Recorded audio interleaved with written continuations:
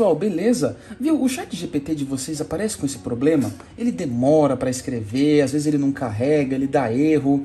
O da minha noiva tá dando esses problemas, olha só, ele tenta começar a escrever e desiste, dá erro. E aí eu fiquei um tempão tentando descobrir o que estava acontecendo e eu descobri que é culpa do antivírus, o antivírus não gosta dele. Então a gente vai pegar o link do chat GPT aqui no navegador, tá vendo esse linkzinho? A gente vai abrir o nosso, o nosso antivírus. No caso aqui desse a gente usa o Avast.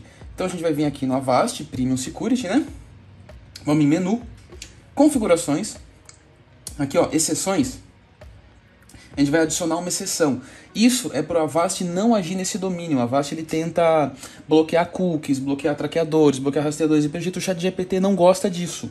Então, se você coloca o link aqui, adiciona essa exceção. Vamos aqui avançar. Prontinho, tudo certo.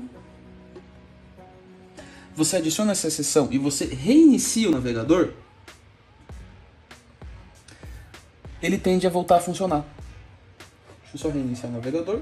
Isso, olha só, nesse caso teve que reiniciar o computador, tá? Não adiantou só abrir e fechar o Chrome, então teve que reiniciar.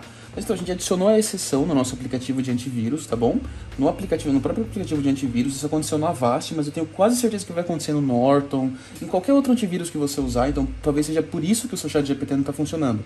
Mas olha só que legal, a gente reiniciou o computador e agora eu posso fazer qualquer tipo de pergunta para o chat GPT que ele vai responder direito. É, uma outra curiosidade é que no meu caso, quando eu instalei o antivírus no meu computador, é que eu não consegui filmar para mostrar para vocês, mas nem chegava a abrir o chat GPT, ele ficava só carregando a aba do navegador. Mas como vocês podem ver, feito isso vai funcionar belezinha, tá? E é isso, eu espero que vocês tenham curtido a dica de hoje. Não deixe de se inscrever no canal, curte, comenta, compartilha, tá? E volta amanhã porque tem mais, tem sempre tutorial novo. E não deixe de checar lá no blog visualmundo.com, tá? E é isso, valeu, falou e até mais.